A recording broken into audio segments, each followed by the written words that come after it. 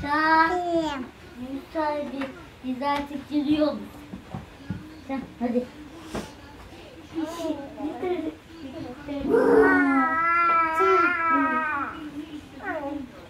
işte geldik evine.